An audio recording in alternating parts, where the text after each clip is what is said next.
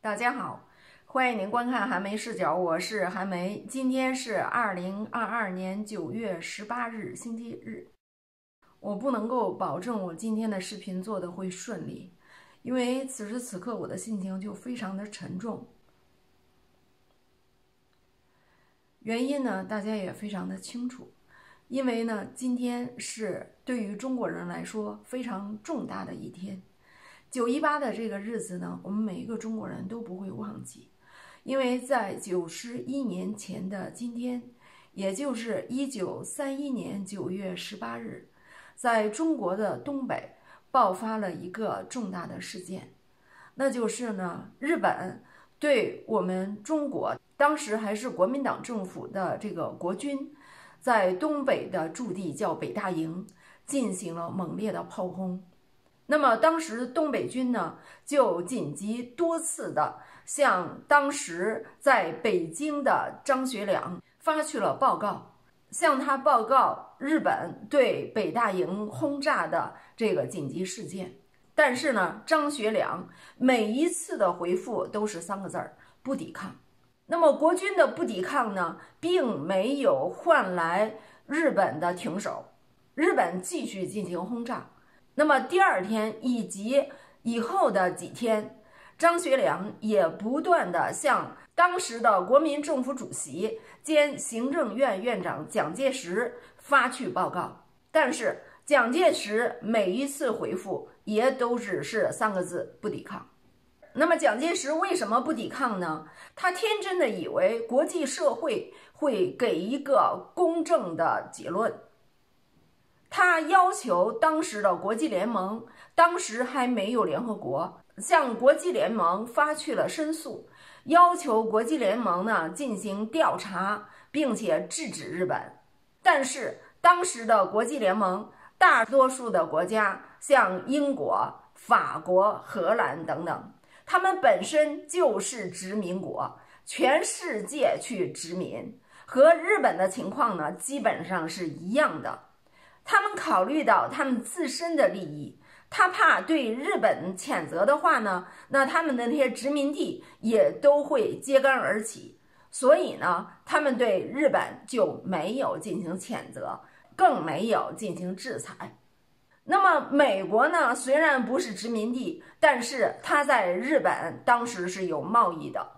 他们也怕影响到他们的贸易利益，所以呢，对日本只是轻描淡写的进行了一下指责和制裁，等于说呢，国际社会对日本这种侵略性的行径呢，就给予了默许。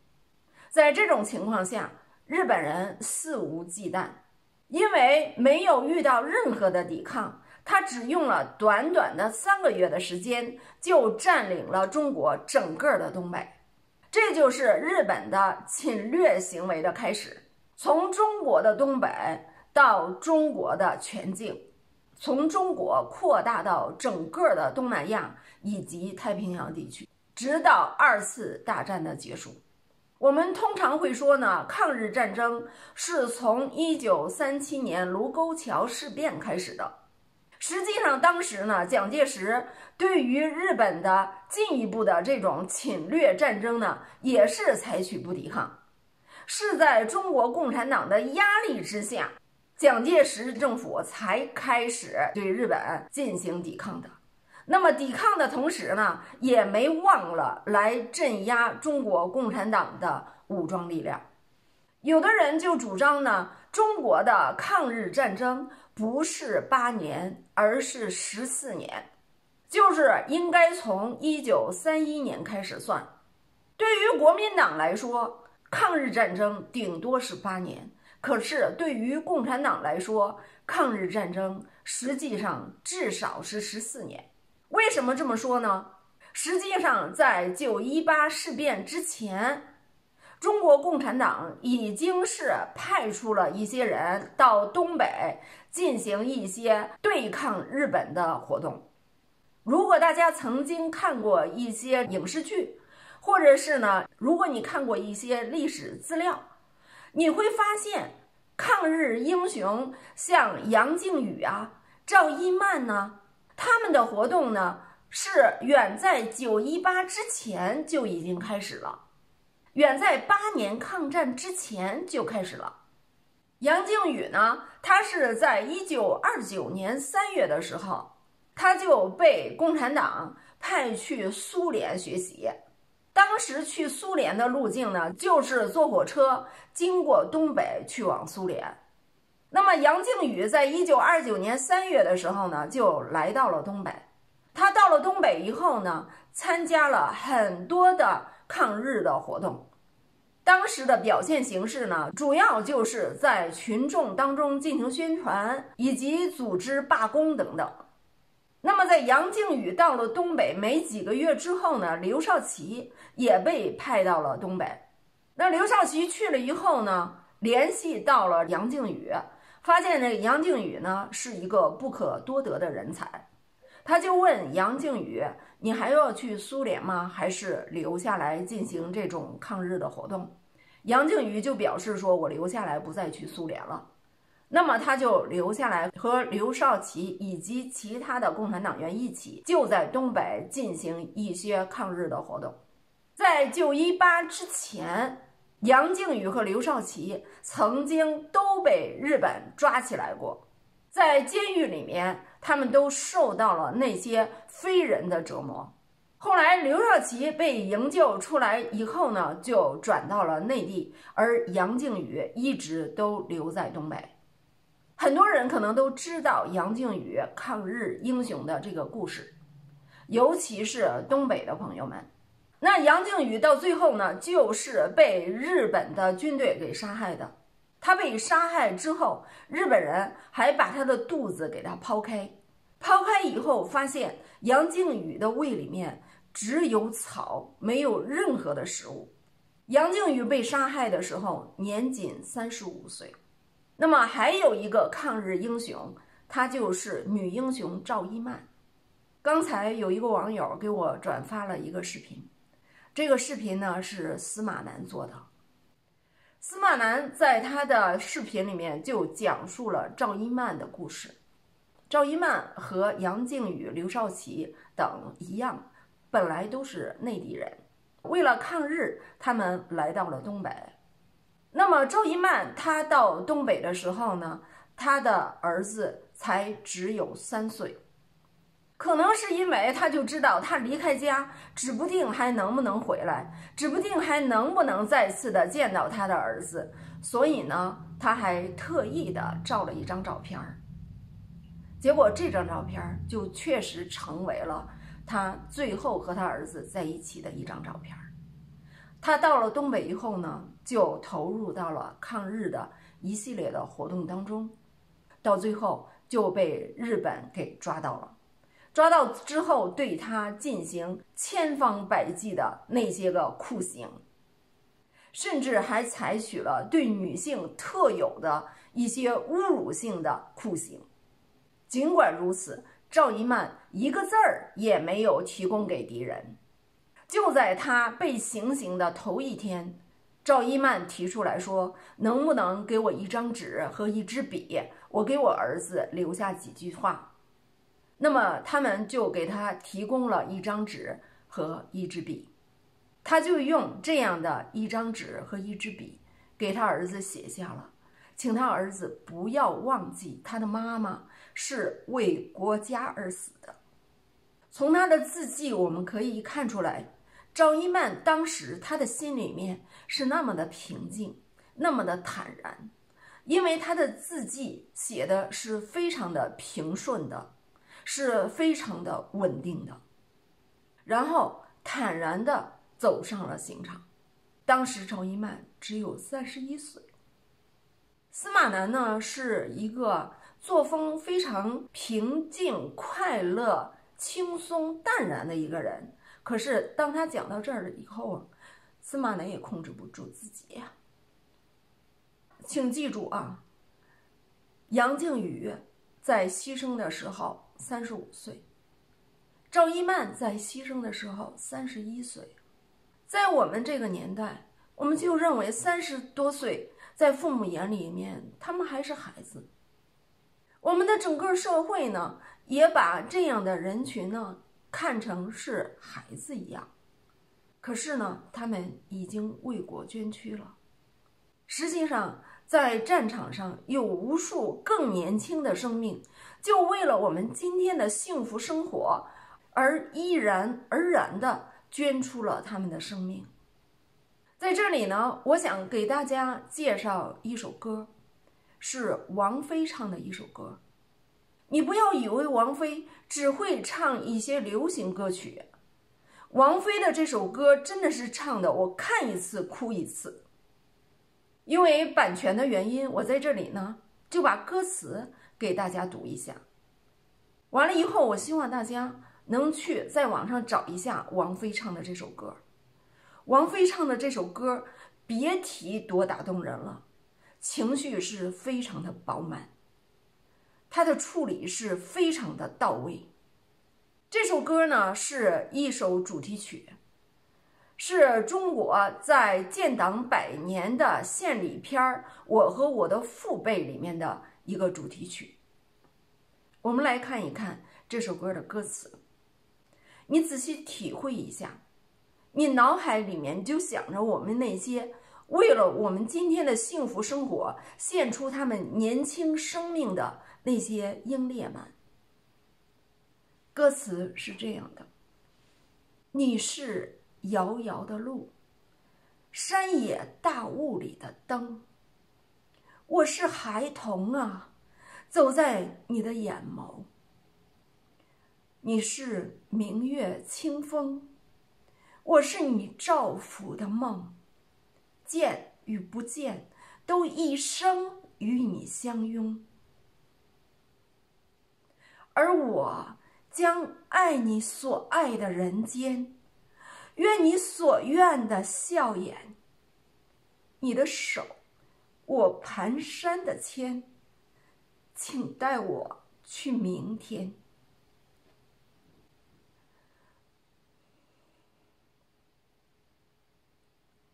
如果说你曾苦过我的甜，我愿活成你的愿。愿不枉啊，愿勇往啊，这盛世的每一天。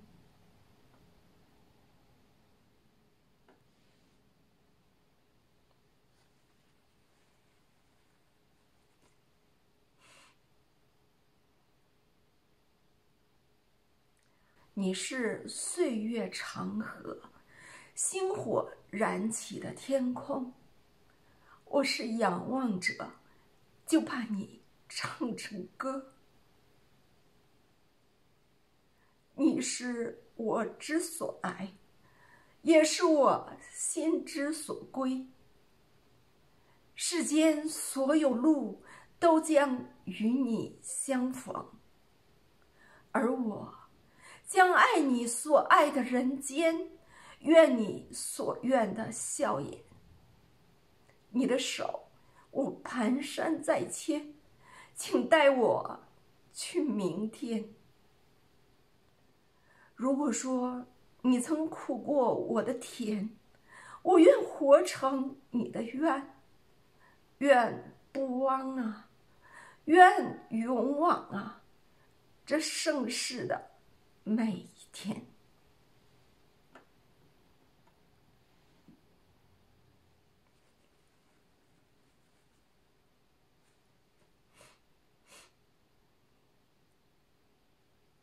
山河无恙，烟火寻常，可是你如愿的眺望，孩子们啊，安睡梦乡，像你深爱的那样。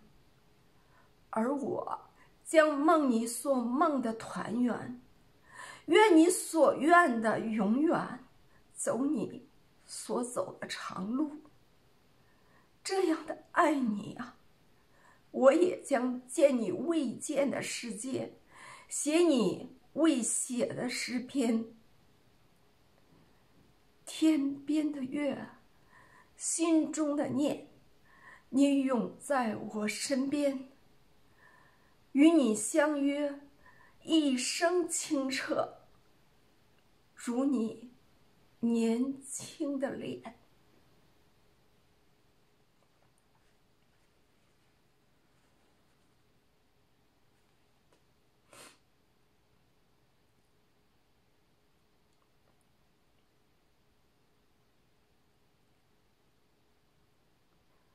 如果你已经被我哽咽的这种朗诵所打动的话，我请你去看一看王菲唱的那首歌，你看看你是不是和我一样，看一次哭一次。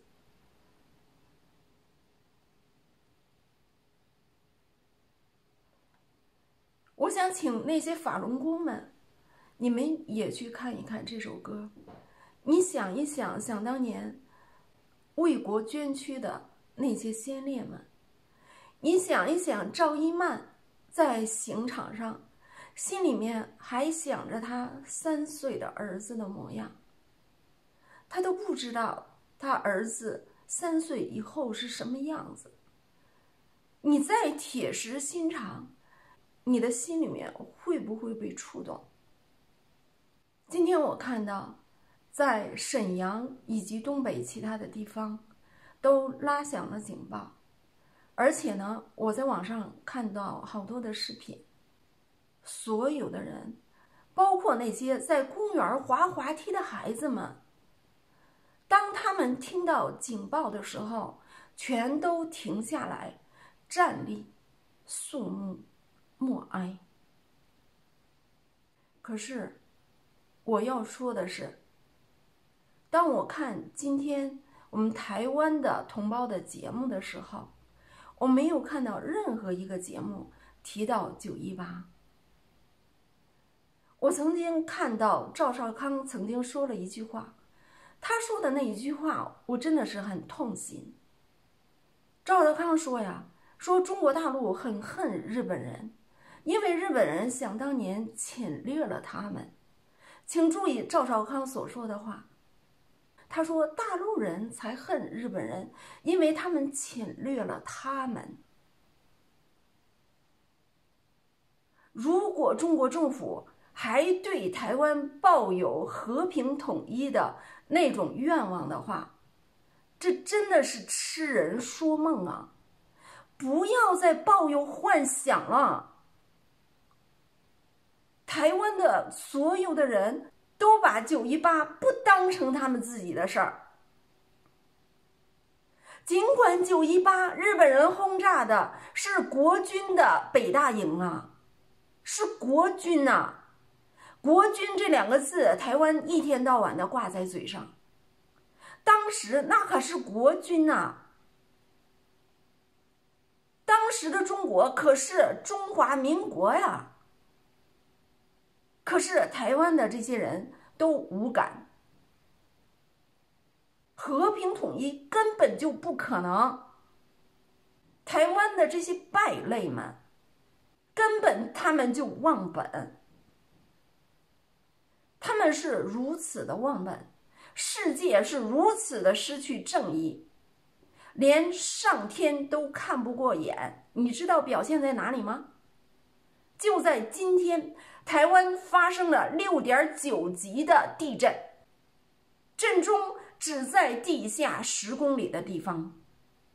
台湾的大桥断裂，火车出轨，大楼倒塌。我看到他们就是储藏那个骨灰盒的那地方啊，那骨灰盒的那个架子啊都震倒了。难道不是台湾的这些败类？惹怒了天怨吗？还有呢，说美国今天发出来了海啸警报，台湾说是因为台湾的地震，不是因为台湾的地震吧？台湾的地震能在美国引起海啸吗？美国发出了海啸警报，这就是今天呀，九一八呀，难道不是那些个冤魂的一种呐喊吗？这个世界没有给那些冤魂以宽慰，给了他们曲解，给了他们不公，难道不是冥冥当中那些个冤魂的一种表现形式吗？如果说台湾人，他们置身度外，他们不把日本侵略这件事和他们联系在一起。我觉得他们真的是没有理由啊！日本不是在二战之前也对台湾进行了奴役吗？台湾怎么会无感呢？真是一些败类，说起来就是一些败类啊！我们再对比一下其他的国家，我们就对比一下这个印度。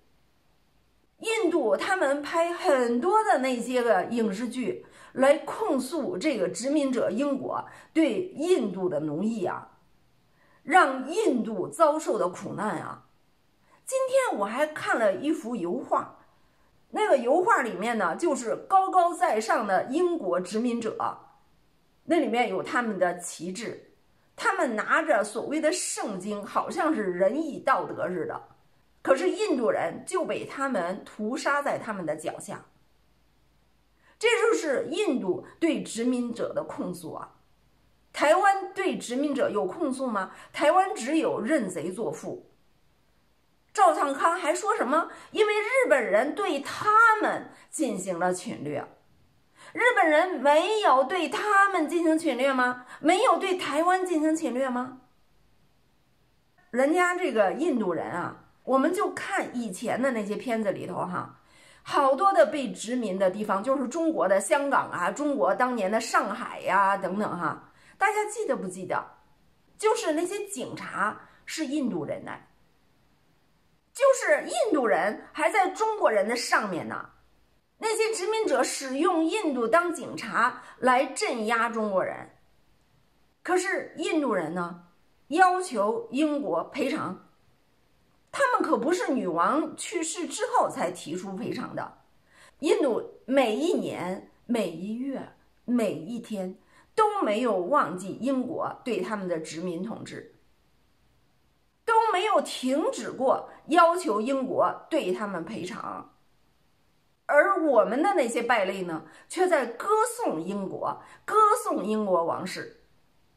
台湾那些败类甚至还要去歌颂日本侵略者，认贼作父。台湾那些败类说什么？他们不认同大陆，大陆如果想把台湾拿回去的话，就得争取他们的认同。谁在乎你认同不认同啊？谁在乎你认同不认同啊？台湾宝岛一直都在中国的版图上面，而你们这些败类是什么时候才出现在那儿的？谁在乎你认同不认同啊？你只是过眼烟云。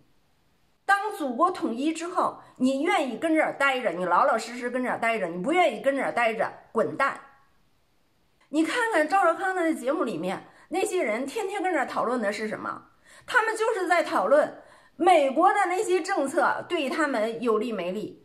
能不能帮他们来抵抗中国大陆？